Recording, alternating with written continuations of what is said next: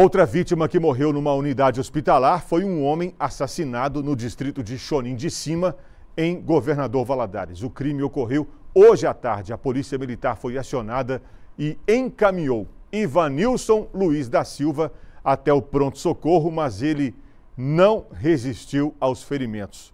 Contra o homem havia alguns mandados de prisão em aberto.